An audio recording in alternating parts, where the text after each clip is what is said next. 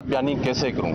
बहरहाल, उनका सिर्फ़ एग्ज़ामिनेशन इन चीफ हुआ और उसके बाद जो है, जो क्रॉस एग्ज़ामिनेशन के लिए वो शायद तैयार नहीं थे और उसके बाद वो चले गए। बाकी आइंदा की जो उसकी समात होगी, उसमें उनका क्रॉस एग्ज़ामिनेशन होगा, फिर देखेंगे। लेकिन जो उनका स्टेटमेंट हुआ है प्रोसिक्यूशन उस वक्त ये कोशिश करी थी कि इनको हॉस्टाइल विटनेस डिक्लेयर करा दिया जाए। यानी इंतहा है, अगर आप सच बोलेंगे या आप अगर वहाँ पे उनके मुताबिक नहीं बोलेंगे तो हॉस्टाइल विटनेस उनको डिक्लेयर कराने की कोशिश की गई। लेकिन नगरी पेशी में जब जरा है, उसमें तो ऐसा कुछ हो नहीं सकता।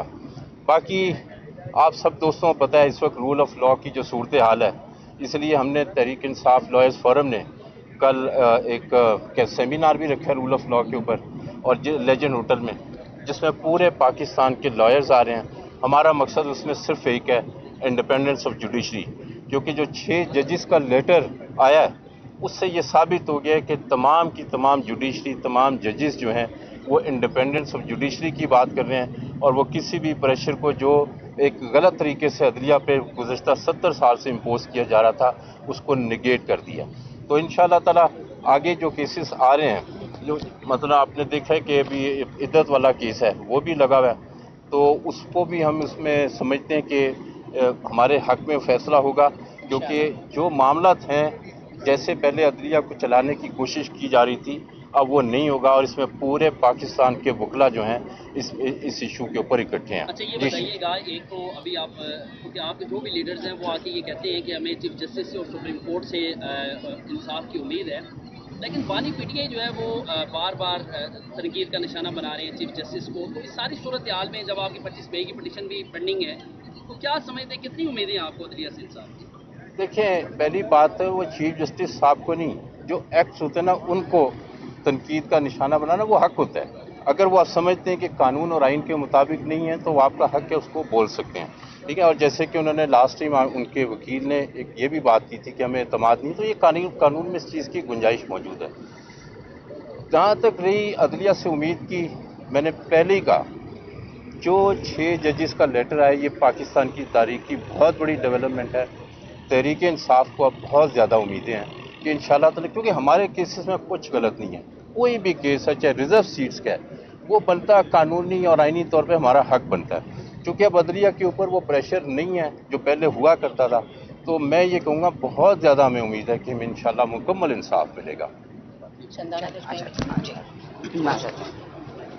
तो बीच में हाँ कटेरे में आती हूँ कटेरे में आती हूँ। ये तो मैंने देखा ही नहीं हाँ अच्छा एक सेकंड सर थोड़ा सा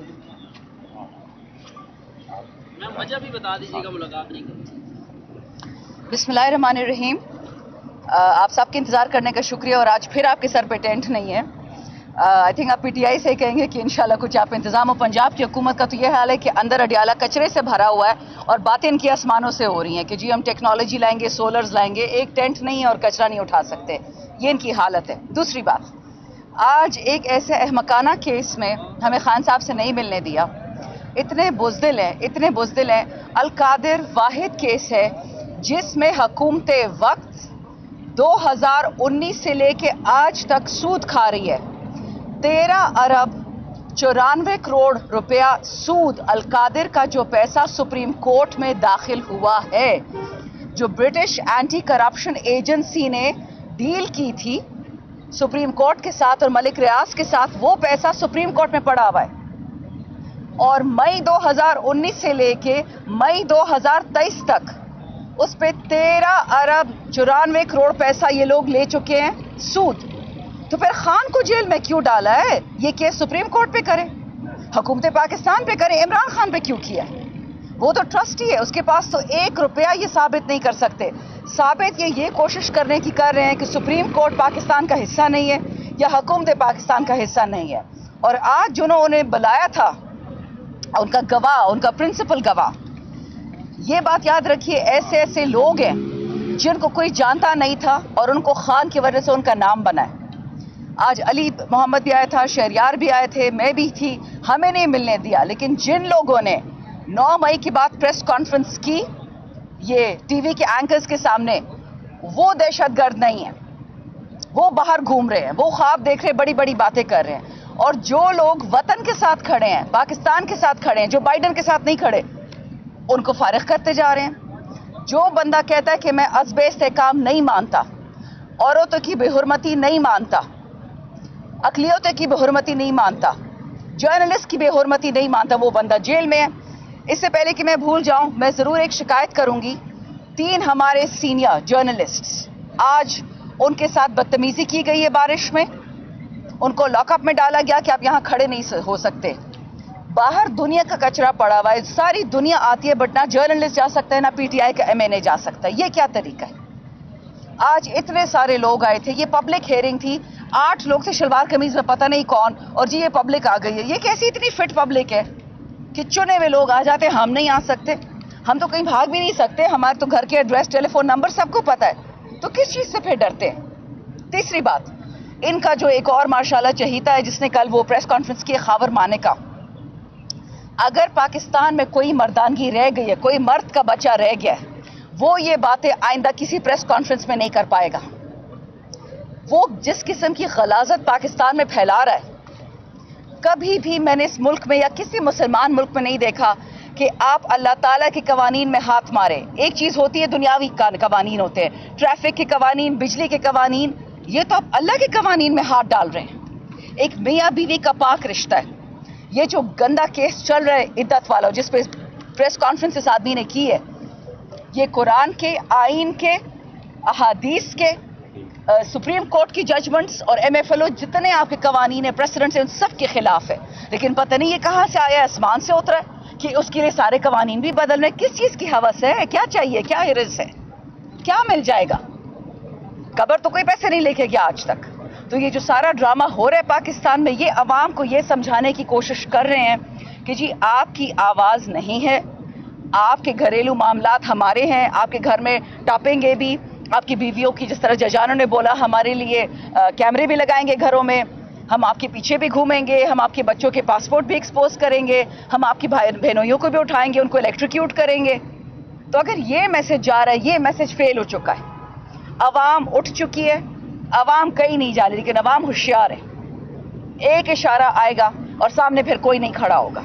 अभी भी वक्त है, अकल के नाखुन, होश के नाखुन, जो भी है सारे वकला इस वक्त हमारे साथ खड़े हैं। इस वक्त नौनानवे फ़ीसद वकला खान साहब के साथ है।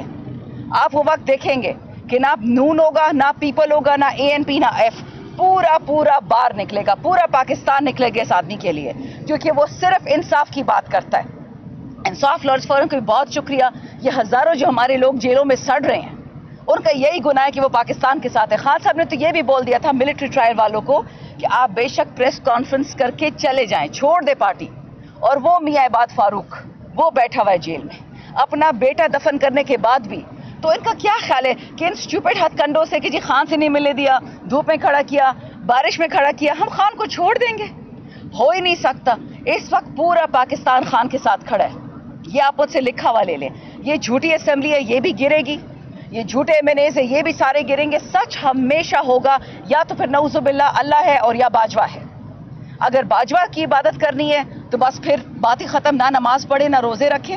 हम एक रब की इबादत करते हैं, एक ही रब के सामने सजदा करते हैं। हमारा और कोई रब नहीं है। और बाइडन बाइडन ने वैसे चले जाना है नवंबर में। तो जो सारी कोशिशें हो रही हैं, खान को ज़्यादा करें खान की बीवी, खान का खानदान, उनके स्टाफ वाले, खान के वर्कर्स इससे बनना कुछ भी नहीं ये याद रखें। बहुत शुक्रिया। अच्छा मैम, एक सवाल ले ली। कि आप उन तमाम पोलिटिकल पार्टीज़ के साथ बात करने के लिए तैयार हैं, जो इस वक्त वफाक का और पंजाब का ये सिंह का हिस्सा नहीं है नई पार्टी बनी है अवाम पाकिस्तान। और, कोई आपने कोई रबते किए या उन लोगों की तरफ़ से कोई रबते हुए कि मौजूदा सियासी सूरत हाल पर वो आपकी कश्ती में सवार हो, आपकी कश्ती के मुसाफिर बने या खान साहब ने कोई ग्रीन सिग्नल दिया ऐसा कि नहीं? मुझे तो जी ऐसी कोई बात नहीं मालूम। ना मैं कोर कमेटी में हूँ, ना पॉलिटिकल कमेटी में तो मुझे नहीं मालूम लेकिन ये जो अवाम पाकिस्तान पार्टी बनी है, वो नून से ही जो नाराज़ लोग गए हैं, इसमें और भी बहुत जाएँगे। मैं तो ये सुना है कि हम, हमसे जो प्रेस कॉन्फ्रेंस करके गए हैं, शायद उनका भी ये सोच है कि अगर जो लोग यहाँ से गए हैं, वो पीटीआई में वापस नहीं आए तो शायद उधर चले जाए। सुना ये है। लेकिन साथ ही साथ मैं इसमें एक ऐड कर दूँगी आपके सवाल का, कि खान साहब की इंस्ट्रक्शन पे महमूद अचकजई साहब जो हैं, वो हेड कर रहे हैं और तमाम अपोजिशन जमातों को इकट्ठा कर रहे हैं। और तमाम अपोजिशन जमातें इकट्ठी हैं। जैसे आपने कहा कि शायद शाहिद खाकान साहब की पार्टी का तो ऑब्वियसली महमूद अचकजई साहब का मैंडेट है, वो उनसे भी बात करेंगे एज पर खान साहब के इंस्ट्रक्शन के। मीडिया पे बता दें पार्टी तो मुलाकात शुएब के हवाले से भी ट्वीट किया, उन्होंने कहा कि पाकिस्तान आके मीडिया पर शुएब शाहीन को कंपनी का बंदा करार दिया है ने आप क्या समझती हैं? खान साहब ने इस से कोई बात की है कि दोबारा बुलाया जाएगा इख्तलाफात खत्म किए जाए? तहरीक आगे कैसे बढ़ेगी फिर आप लोग देखिए ये तहरीक किसी भी हस्ती की आ, वजह से नहीं नहीं नहीं आ, मोहताज नहीं है। Let's put it that way एक इमरान खान पूरे पाकिस्तान के लिए पूरा है। अगर शेर शाहीन साहब की और शेर अफजल की कोई लड़ाई है या किसी और की है वो हम पार्टी के अंदर रिजॉल्व कर लेंगे। ट्वीट करने से पाकिस्तान नहीं टूटा। 9 फरवरी को उन्होंने झूठा इलेक्शन करवाया क्योंकि 8 फरवरी को ये आवाम को फेस नहीं कर सके। ये बातें हैं मेन इशू है अजब इस्तेकाम उससे ध्यान हटाने के लिए कभी उसने ट्वीट कर दी कभी उसने खाना नहीं खाया कभी उसने गाड़ी बदल ली ये फजूल बातें ये कोई रिपोर्टें नहीं है। याद रखे बड़े बड़े नाम थे चले जाएँगे प्रेस कॉन्फ्रेंस कर लेंगे पार्टी नहीं रहेगी। हम तो पार्टी तो उससे डबल स्ट्रांग हो गई है। जब वी हो रही थी जब ये लोग हमसे जा रहे थे हम 40 percent forty seven percent popularity पे थे अब तो 80 परसेंट पे 87 परसेंट पे। कोई फ़र्क नहीं पड़ता इन चीज़ों से ऐसे ड्रामा है। ये बताइएगा कि कुछ लोग पार्टी आपसे छोड़ गए इन्होंने प्रेस कॉन्फ्रेंस कर ली। अब कुछ लोग जो है वो वापस आने के चक्कर में तो आज एक बंदे ने आपके खिलाफ बयान दे दिया आके अदालत में। तो ये क्या चल रहा है? कुछ वापस आना चाह रहे हैं? कुछ बयान दे रहे हैं? कमेंट नहीं खान साहब ने उस दिन दो बात की अदालत में। कहते एक ऐसे लोग थे जो पार्टी से गए हैं मजबूरी दहशत गर्दी उनकी बीवियाँ उनकी बच्चियाँ उनका स्टाफ उनका घर बर्बादी कर दी। दूसरे वो लोग हैं जिनकी फाइलें थी और वो अपनी फाइलें या जो भी है उसकी वजह से चले गए। कहते हैं दोनों का मैं अलग अलग फैसला करूँगा खुद करूँगा केस बाय केस करूँगा। चले?